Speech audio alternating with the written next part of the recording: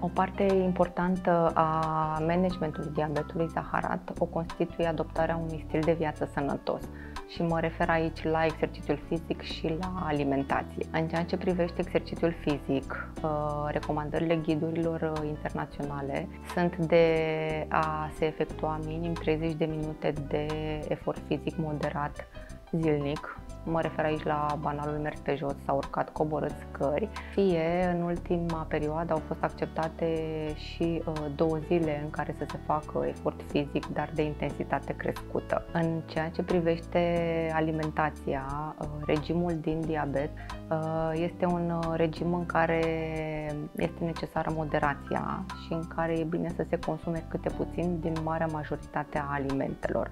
Atenția cea mai mare e bine să fie asupra alimentelor cu conținutul uh, crescut în uh, carbohidrate sau glucide, este același lucru. Și aș vrea să le luăm un pic pe rând. Sunt uh, alimente ce sunt recomandate a fi consumate într-o anumită cantitate și ca să detaliem un pic pe categorii de alimente, aici intră pâinea și produsele de panificație și fasolea uscată, Acestea au un conținut de 50 de grame de zahăr pe 100 de grame de produs. Urmează cartofii, orezul, uh, pastele făinoase, mălaiul uh, și mazărea, uh, care au un conținut de 20 de grame de zahăr pe 100 de grame de produs, dar aici produsele uh, sunt fierte. De asemenea, cu un anumit gramaj e bine să fie consumate lactatele, și anume laptele, iaurtul, sana, chefirul. Ce diferă la ele este conținutul de grăsimi,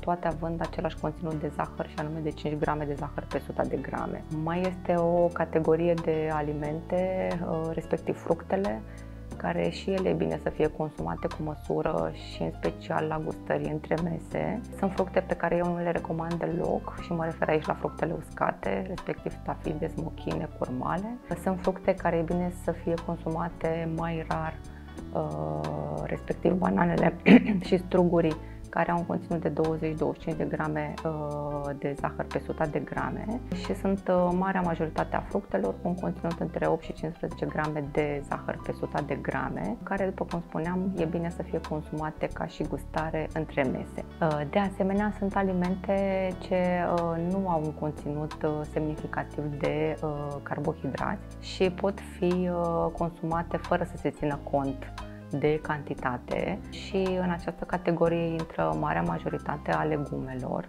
consumate sub orice formă se dorește. Carnea cu mențiunea că e bine să se evite grăsimea uh, vizibilă a cărnii și pielița de pasăre. Tot în această categorie intră peștele de orice natură, brânzeturile slabe, respectiv brânza de vacă. E bine să se evite brânzeturile grase, cum sunt cea de oaie, de burduf, brânza topită, cașcavalul și brânzeturile franțuzești. Și de asemenea, fără un gramaj anume, Ehm, pot fi consumate și ouăle, respectiv un ou la 2-3 zile, ehm, de preferat ehm, fierte moi. Ultima categorie de alimente sunt cele foarte dulci, pe care nu le recomand decât în cazul necesității corecției unei hipoglicemii. Aici intră toate alimentele cu conținut mare de zahăr, produsele de patiserie, cofetărie, sucurile de orice fel, dulcețurile. De asemenea, nu recomand nici produsele cu îndulcitor, uh, pentru că ele întrețin uh, acest gust pentru dulce și de asemenea sunt produse dietetice sau light care